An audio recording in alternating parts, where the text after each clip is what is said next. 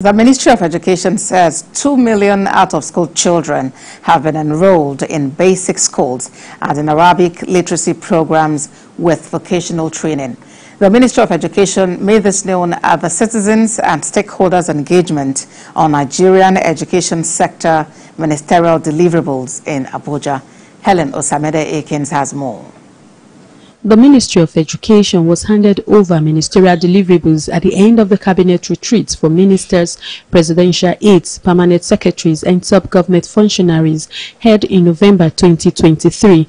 It is with a view to ensure that ministries, departments and agencies deliver on the presidential priorities of the renewed hope agenda for 2023 to 2027. This stakeholders engagement is in line with the number 23 of the presidential deliverables to initiate and implement quarterly citizens and stakeholders engagement sessions to communicate government activities and serve as feedback mechanism as the ministers rolled out their achievements and plans in the past six months. They informed Nigerians that the ministry have been able to see to the enrollment of 2 million out-of-school children in basic schools and in Arabic literacy program with vocational training. One of the major programs of uh, the present administration to address problems of out of school.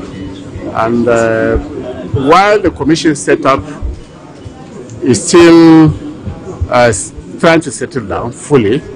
The work has not stopped.